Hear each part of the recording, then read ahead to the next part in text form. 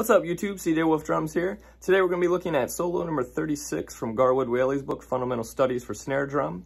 If you're working on this type of material and you would like help, I offer online lessons. My information is in the description box. Thanks. One and two